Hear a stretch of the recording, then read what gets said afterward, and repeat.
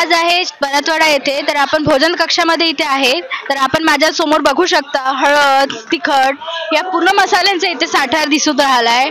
आहे ही आजची तयारी झालेली झाल्यानंतर ही उद्याची तयारी मला वाटतं आहे इथे रेडी आहे.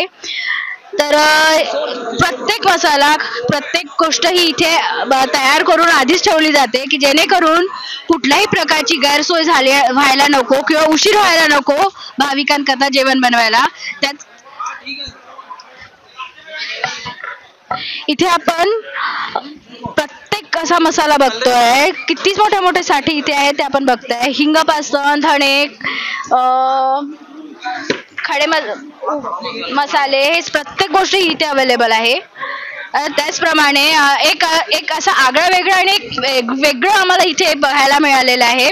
अन्न वाया न जाणे ही यांची एक प्रथम खूप चांगली अशी नियोजन आम्हाला इथे दिसलेलं आहे.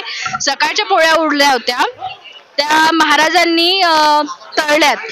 तळल्या त्यानंतर त्यावर एक मसाला तयार केलेला आहे. ये मसाला तो है क्या?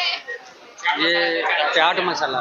चाट मसाला. इसमें क्या क्या मिला है? इसमें आगे आगे इसमें क्या क्या मिला है? है एक मिनट। काला नमक है अमचूर पाउडर है लाल मिर्ची है नमक है सादा हाँ। और यही बस। तो सादी रोटी से ये रोटी लोग ज़्यादा खा रहे हैं? ये सबसे ज़्यादा लोग खा रही है। ये बहुत पसंद आ रही है लोगों को। ये ये ज़्यादा पसंद आ रही है? हाँ।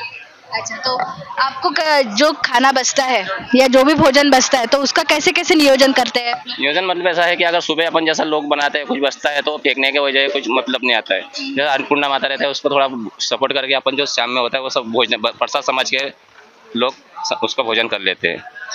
आप कहाँ से आए हो? हम बुरहानपुर से मध्य प्रदेश। आपका नाम? दीपक पाटिल। कितने साल से आप इसमें इसमें ये भोजन बनाने में काम पंद्रह साल से हुए पंद्रह साल से महाराज जी से जुड़े हाँ? जुड़े हम। कैसे लग रहा है आपको आप परतवाड़ा में आकर? बहुत बढ़िया लग रहे हैं और मेहनत भी अच्छा लग रहा है काम करने में सेवा कर रहे हैं हम भी हमारे महाराज जी के इसमें माध्यम से बढ़िया है हमको। परतवाड़ा के लोगों को क्या कहना चाहोगे? हम तो यही कहना चाहेंगे भोजन करो जैसे संख्या हो ज़्यादा से ज़्यादा लोग आए श्रद्धा से। तर ना माझ्या मागे एक मोठे मोठे असे भांडे बघतायत मोठ्या मोठ्या कढया बघतायत. जिथे आता पण रात्रीचे नऊ साडेनऊ झालेले आहेत पण स्वयंपाक बनणं सध्या थांबलेले नाही. कंटिन्युअसली इथे स्वयंपाक करणं चालू आहे. आणि उद्या त्यासोबत उद्याची तयारी सुद्धा सुरू आहे. उद्याच्या भोजनाची सुद्धा इथे पूर्णपणे तयारी झालेली आहे. भाविकांकडनं इथे किराणा सुद्धा आलेला आहे जेणेकरून कुठल्याही प्रकारचा कोणत्याही भाविकाला अडथळा आला न आला नाही पाहिजे. या विचाराने इथे सोय सुरू झालेली आहे.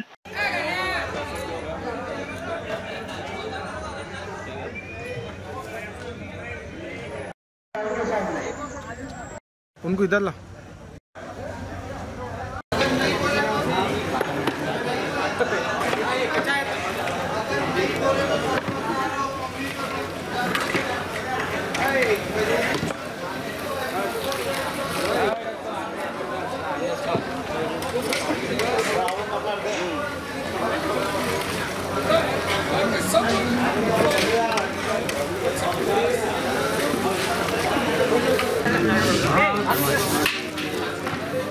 पूरा एक भी दाना खाने मिर्ची डालो